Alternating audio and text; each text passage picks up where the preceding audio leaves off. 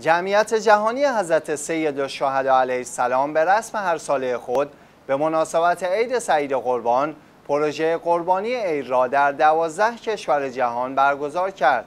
به گزارش شیورز طی این اقدام بیش از 1400 قربانی در کشورهای مختلف صورت گرفت و هزاران خانواده ایتام بی سرپرست و نیازمند از آن بهرهمند شدند. این پروژه با پیروی از رهنمودهای مرجعیت شیعه آیت الله سید صادق حسینی شیرازی الله مبنی بر رسیدگی به خانواده های نیازمند هر ساله در کشورهای مختلفی صورت میپذیرد.